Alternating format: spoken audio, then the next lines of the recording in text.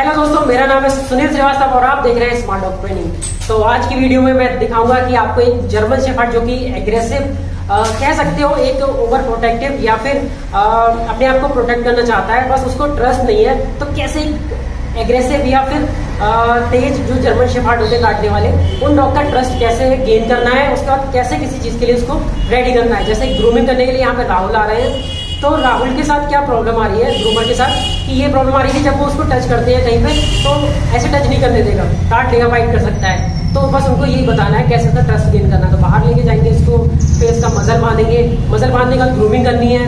और उसके बाद सारी चीज़ें, फिर कैसे कैसे उसको फिर अपने आपसे खोलना भी है। जब उसको भरोसा हो जाएगा तो बोल देंगे देखिए आप बाइट भी नहीं करेगा। तो वो चीज़ मैं आपको दिखाना सबसे पहले वीडियो को लाइक कीजिएगा और अगर आपने चैनल को अब तक सब्सक्राइब नहीं किया है अगर नए हैं तो सब्सक्राइब कर लीजिएगा क्योंकि बहुत सारी ऐसी वीडियोस मैं लाता रहता हूँ जो आपको बहुत ज़्यादा काम की होने वाली है।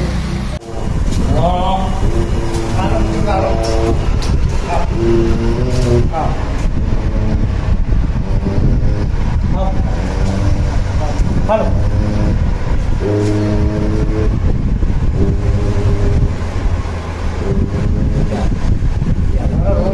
आ, ये राहुल हैं। अब ये इनकी ग्रूमिंग करेंगे। ग्रूमिंग से मीन्स अब इसको जरा इसका बिहेव देखो। थोड़ा कितना एग्रेसिव हो रहा है क्योंकि ये छूने नहीं देगा। जब तक ये इससे फैमिलियर नहीं होगा तब तक क्या होगा कि इनको ग्रूमिंग करना मुश्किल होगा बहुत। जैसे ये पास जाने की कोशिश कर रहे हैं तो इनको घुरा रहा है। इनके ऊपर भरोसा नहीं है।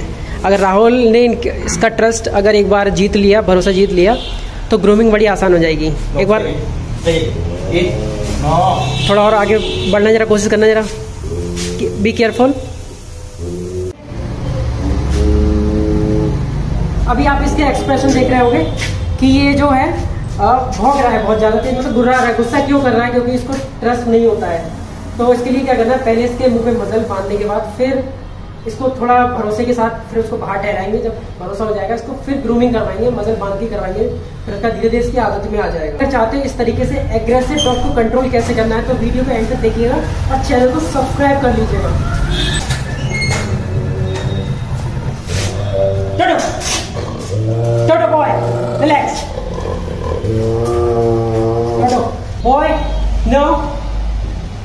ट्रस्ट गेन करने के लिए क्या करना है हमें? अभी गुस्सा भी करेगा हो सकता है कि अटैक करे एकदम तो एकदम से हाथ नहीं लगाना होता है। पहले इसको पता चले कि आ, हम इसको नुकसान नहीं करेंगे। वैसे अग्रेसिव नहीं है। अग्रेसिव होता तो बैठने भी नहीं देता बट क्या इसको ट्रस्ट नहीं है? कहीं ऐसा कुछ ना करे। और कि पहले से अपना प्रोटेक्शन करता है। ओवर प्रोटेक्टिव जो होते हैं पहले से प्रोटेक्शन हर कोई चाहता है तो उसको नहीं पता। उसको रियलाइज़ कराना है कि हम उसके अच्छे के लिए सब कर रहे हैं। तो जैसे जैसे ये अभी इसके जो क्लोज है उनकी हेल्प लेके थोड़ा सा हम लोग इसको फिर लोगों से फैमिलियर करवाते हैं और कैसे डॉग को हैंडल करना है, कैसे पकड़ना है छोटी छोटी चीज़ें आप देखते रहिएगा। ठीक है? तो हर चीज़ ज़रूरी नहीं एक्सप्लेन हो जाए, आप कुछ बॉडी लैंग्वेज से भी जान सकते हो। गुड बॉय हे टोटो टोटो हे गुस्सा कर रहा है अभी अगर एकदम से अगर इसको हाथ लगाया तो ये काट लेगा। की मज़ेदार ट्यूटोरियल वाली वीडियो में लाता रहता हूँ जिससे आपको डॉग बिहेवियर समझने में बहुत ज़्यादा हेल्प होगी। अगर आप ट्रेनर बनना चाहते हो या फिर डॉग को अपने आप से ट्रेन करना चाहते हो तो हमसे जुड़ सकते हो। स्क्रीन पर जो नंबर दिए जाना है व्हाट्सएप कर सकते हो। नंबर पर आपको कोर्स की डिटेल्स मिल जाएँगी। देखते हो। बाहर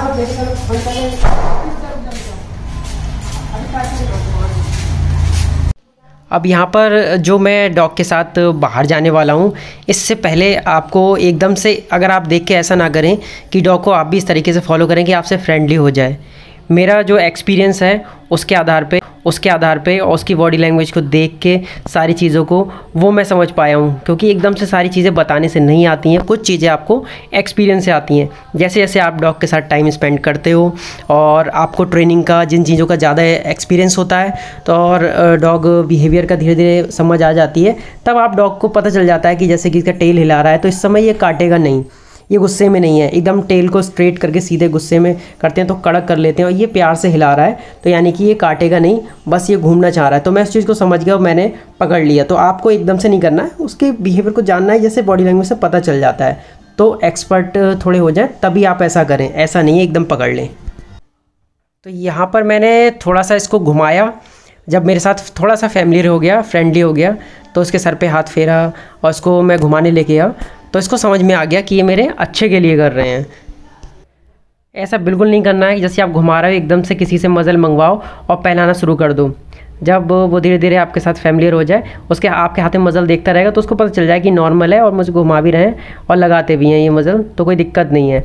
और उसके बाद आपको कभी उसके ऐसा नहीं करना, धोखा नहीं करना डॉग के साथ, जैसे कि मज़ल लगवाया और इंजेक्शन लगवा दिया तो आगे से वो आपसे गुस्सा करेगा क्योंकि उसको भी समझ है तो इन चीज़ों का विशेष ध्यान रखें। बस उसको ऐसी चीज़ें करनी है जो उसको हार्मफुल ना हो और उसको अच्छा लगेगा अनकम्फर्टेबल स्टार्टिंग में रहते हैं। निकालते हैं बट धीरे धीरे उनको समझ में आ जाएगा, जैसे बांधने के बाद जब उसको ग्रूम करा जाएगा तो उसको पता चल जाएगा कि इसको मुझे कोई नुकसान नहीं हुआ और मज़ा ही आएगा क्योंकि डॉग को ग्रूमिंग के बाद अच्छा लगने लगता है। इतना वो भी समझते हैं।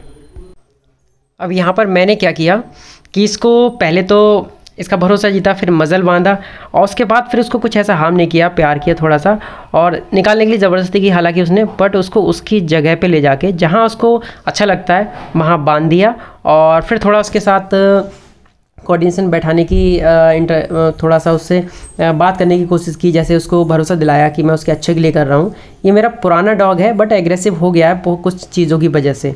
ठीक है? तो मैं इसको कर सकता था, इसलिए मैंने यहाँ पे ये किया। और थोड़ा प्यार करेंगे, सहलाएँगे तो उसको पता चल जाएगा मुझे, नुकसान नहीं हो रहा है, ना कोई इंजेक्शन लगा रहा है, ज़बरदस्ती कुछ नहीं करनी है, बस। तो झटपटाता तो है ही डॉग कि मेरे मुँह से निकाल दिया जाए, उसको बस जब पता चल जाएगा ये कोई नॉर्मल चीज़ है तो वो बस जस्ट एक नॉर्मल चीज़ होती है, बस उसको समझाना होता है। तरीका लोग ये गलत अपना लेते हैं कि उसको मारने लगते हैं।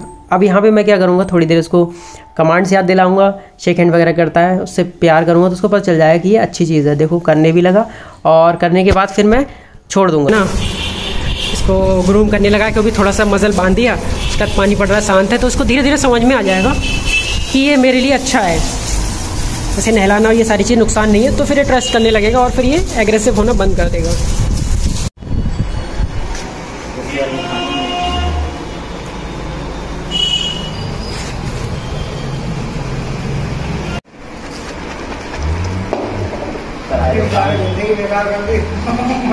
दिखाई देना है।